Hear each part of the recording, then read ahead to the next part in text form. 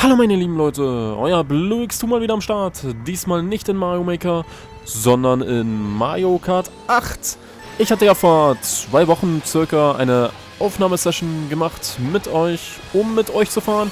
Und ich möchte mich an dieser Stelle bei allen Mitfahrern bedanken. Die meisten konnte ich ja auch zuordnen, ein paar allerdings nicht. Äh, man sieht ja die Namen auch immer eingeblendet. Am Ende des Rennens sieht man auch nochmal alle. Und ja, danke an alle, die mitgefahren sind. Und ich bin auch froh, dass elf Leute zusammengekommen sind. Und ja, ich glaube, es gab sogar Interesse für mehr. Ähm, aber die haben es halt dann nicht geschafft. Aber ich bin froh, dass elf Leute zusammengekommen sind. Genau. Insgesamt habe ich vier Runden aufgenommen. Allerdings habe ich mich jetzt mal für diese entschieden. Ob ich die anderen verwerfe oder weitere Aufnahmen mache, weiß ich noch nicht. Aber ich denke mal schon. Aber auf jeden Fall werden die Mario Kart 8 Videos eher unregelmäßig kommen. Und ja, diese sollen vor allem für Off-Topic-Zeug sein. Ich bin da ja noch nicht so geübt darin, so über Off-Topic-Kram zu reden. Man sieht es zwar manchmal in den Mario Maker Videos, dass ich das mache, aber ich finde das dort nicht so wirklich passend. Zumindest nicht, wenn das dann einen längeren Videobereich einnimmt, also ein, eine größere Videozeit, meine ich. Und ja, ich möchte halt dort über das Level reden und auch den jeweiligen Baumeister würdigen. Und ja, ich habe es schon in der Vergangenheit ein paar Mal ausprobiert, aber mir gefiel das nicht ganz so gut. Und von daher möchte ich den Off-Topic-Kram lieber hier besprechen.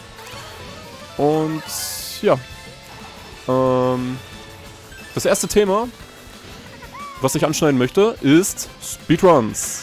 Ihr habt das ja wahrscheinlich schon gesehen. Ja, natürlich habt ihr das gesehen. ich habe ja schon einige auf meinem Kanal. Ja, ihr habt gesehen, dass ich wieder Speedruns mache. Ja, jetzt bin ich auf den Punkt gekommen. Und ja, die Speedruns, die sollen ab jetzt auch so ein regelmäßiges Format auf meinem Kanal werden. Wobei, ja, die kommen eigentlich nur dann, wenn ich wirklich Bock drauf habe. Also es ist eher unregelmäßig, aber doch irgendwie regelmäßig. Ja, mal schauen.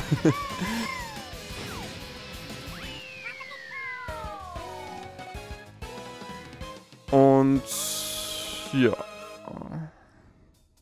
Hier sieht man jetzt gleich die Namen der Mitfahrer, die mitgefahren haben. Nämlich der Lars, der Nico, der Stefan, Nintendo, Johannes, Random Mark und der Lukas, der Max, der Leon und Jonas und ein CPU Mario und einen Namen habe ich leider vergessen. Da war es schon zu schnell weg und wir sehen uns gleich wieder. Genau, und hier sieht man nochmal alle Namen, auch die, die ich vergessen habe oder denjenigen. Und ja, zurück zum Thema Speedruns. Äh, die sollen wie gesagt ein regelmäßiges Format auf meinem Kanal werden. Und mir ist dabei natürlich klar, dass die Rekorde wahrscheinlich gebrochen werden. Vor allem, weil die Leute, die sehen ja das Video dann und können sich ja dann die Techniken, ja, die können die Techniken nachmachen und vielleicht auch noch eigene Gedanken mit einbringen. Aber das ist mir egal, das habe ich jetzt entschieden. Ich werde jedenfalls nur Aufnahmen hochladen, mit denen ich selbst zufrieden bin und ich als sehr gut ansehe. Sollte jemand den Rekord brechen, freut es mich natürlich, da ich die Leute quasi zu einem Speedrun motivieren konnte. Wovor ich allerdings ein bisschen Angst habe, ist, dass mir die Leute halt jetzt nur noch schwere Level oder sogar sehr schwere Level einsenden, weil sie denken, ich könnte sie schaffen. Das stimmt zwar auch und ich kann dieses Level sicherlich auch schaffen, aber ich muss dir sagen, dass meine Speedruns zwar schon spielerisch gut sind, aber sie haben halt in der Regel nichts mit Kaizo-Leveln, also schweren Leveln zu tun. Kaizo-Level und Speedruns sind zwei völlig verschiedene Welten. Kurz gesagt, bei einem Speedrun spielt man ein Level und versucht im Anschluss mit diversen Techniken und Tricks immer weiter seine Zeit zu verbessern. Und bei Kaizo-Leveln hingegen müht man sich mit unzähligen Versuchen ab, um überhaupt das Level erstmal geschafft zu haben. Ja. Und sendet mir jemand ein schweres Level ein oder sogar ein sehr schweres Level, wird die Aufnahmezeit in der Regel immer sehr lang. Ich sterbe unzählige Male und habe dann vielleicht irgendwann das Level geschafft. Aber ich werde zwar solche Level schon probieren, aber wenn ich merke, dass sie zu schwer sind oder im Verhältnis zur Aufnahmezeit pro Versuch, ja, kaum was schaffe, dann werde ich sie wohl abbrechen. Ja, also wenn ich zu oft sterbe und zu wenig schaffe pro Versuch, dann werde ich es wohl abbrechen. Und hier wurde ich wieder mal gut getroffen. Ich wurde allgemein sehr oft getroffen in den Aufnahmen. Aber das war mir schon klar. Ich hoffe jedenfalls, dass ihr das dann verstehen könnt, wenn ich die Level abbreche, wenn ihr sehr schwere Level einsendet. Und ja, wie gesagt, die Speedruns, die werden unregelmäßig kommen, nämlich immer dann, wenn ich gerade Bock habe. Ansonsten kommt in der Regel jeden Tag um 17 Uhr ein neues Video und an Wochenenden auch meist je eines um 10 Uhr, sofern ich es schaffe, damit das auch jetzt klar ist, wann die Videos kommen. Und hier wurde ich siebter und Leon wurde erster und vier Yoshis auf Platz 2 bis 5 und vier Yoshis ganz weit oben auf Platz 1 bis 4. Ja, das freut mich doch sehr, wenn die Yoshis hier Mario Kart 8 gut vertreten. Und wir sehen uns gleich wieder. So, und dann kommen wir auch schon zu den letzten Themen. Nämlich der Smash Labs Mario Maker Wettbewerb. Der ist zwar schon jetzt ein bisschen her und deswegen kann ich auch nicht mehr so viel sagen, weil ich auch die Level nicht mehr ganz so in Erinnerung habe. Aber ich werde auf jeden Fall alle Level und deren Bookmark-Links in die Videobeschreibung posten. Und natürlich auch die Ergebnisse von allen. Und ja, bei den ersten drei Platzierungen waren wir, also die Jurymitglieder, uns eigentlich auch einig, was die Platzierungen angeht. Und ja, wenn ihr Lust habt, könnt ihr diese Level natürlich auch spielen und denen auch einen Stern geben. Und ja, allgemein kann ich vielleicht noch sagen, dass jedes Level irgendwo Fehler hatte, die halt zu Abzügen geführt haben. Aber, genau. Aber sie waren allgemein schon recht gut. Zumindest, ja, die ersten acht oder so. Je nachdem. Und ja, bei vielen ging zum Beispiel einfach die Zeit aus. Vorgegeben waren ja fünf Minuten, in der man das Level auch ohne Checkpoint-Nutzen, ohne Checkpoint-Nutzung schaffen sollte. Und ja, darauf muss man in Zukunft achten, dass da die Zeit nicht ausgeht bei den Leuten. Ja, und ein Level konnte man sogar fast komplett skimmen. Und ja, das war glaube ich die Bombenfabrik. Ja, dort kann man eine Bombe nehmen am Start, um sich eine Abkürzung freizuspringen. Ist zum Glück jetzt nur einem aufgefallen. Mir nämlich nicht, sonst hättet ihr das im Video gesehen.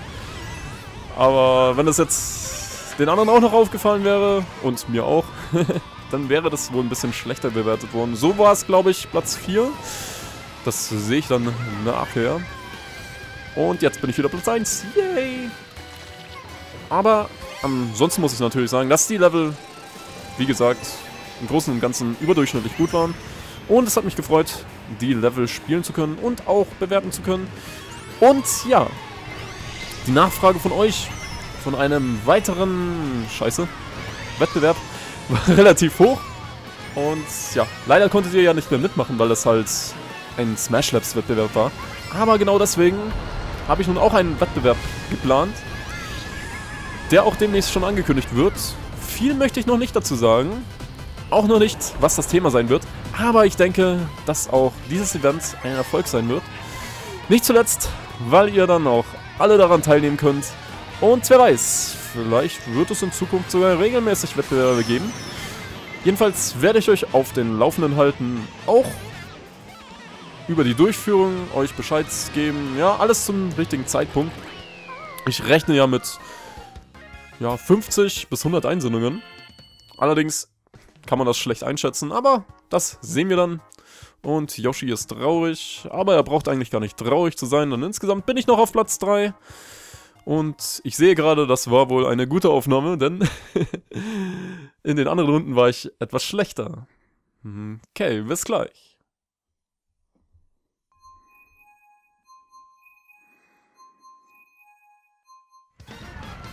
Ja, und diese Einsendungen, die müssen natürlich auch irgendwie bewertet werden. Ähm, ich kann natürlich nicht alle 50 bis 100 Level spielen in einem Video. Das geht nicht. Oh, aber ich habe mir da schon etwas ausgedacht und ja, auch darüber werde ich euch auf dem Laufenden halten, beziehungsweise wenn der Wettbewerb dann angekündigt wird, werde ich das Ganze erklären. Und ja, andere kleinere Projekte abseits davon sind auch noch geplant. Aktuell gibt es ja hauptsächlich die User-Level und die All-Star-Parts und ja, die Speedruns und die Wettbewerbe, die zähle ich jetzt auch schon zu den anderen Projekten, sage ich jetzt mal.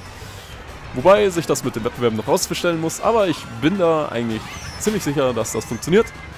Und es wird noch andere kleinere Sachen geben, aber lasst euch da am besten überraschen. Das wird dann irgendwann kommen. Allerdings wahrscheinlich auch eher unregelmäßig. Ja. Und das war's dann eigentlich schon mit dem ersten Video. Mit dem ersten Mario Kart 8 Video. Ich hoffe, es hat euch gefallen. Wir fahren hier nochmal wie ein Verrückter im Babypark rum. Um, wenn ja, könnt ihr dem Video einen Daumen hoch geben. Oder beziehungsweise einen Kommentar schreiben. Oder beides. Würde mich sehr freuen. Und ja. Ich habe das Video live nachkommentiert. Also, ich habe die Themen... Genau. Ja, jetzt sind wir schon fertig. Ich habe den Faden gerade verloren. Auf jeden Fall war das live nachkommentiert. Also ich habe jetzt nicht nur das Gameplay dahinter gesetzt. Ich bin jetzt aber auch nicht so viel aufs Gameplay eingegangen. Sorry. Aber auch ich muss da noch so ein bisschen üben. Und der Lars wurde Erster. Und drei Yoshis dann auf Platz 2 bis 3. Ja, ich werde auf jeden Fall in Zukunft mehr aufs Gameplay eingehen, auch. Aber eben hauptsächlich off-topic. Und wie ich das mache, weiß ich noch nicht. Eventuell werden die Talk-Videos ein bisschen kürzer. Oder ich teile die Cups einfach auf. Oder ich zeige einfach random Rennen. Das weiß ich noch nicht. Aber das werde ich dann schon noch irgendwie sehen. Ja, und ich bedanke mich fürs Zusehen. Und ja, danke fürs Zusehen. Nochmal. Und bis zum nächsten Mal. Und ciao, euer Blöckstu.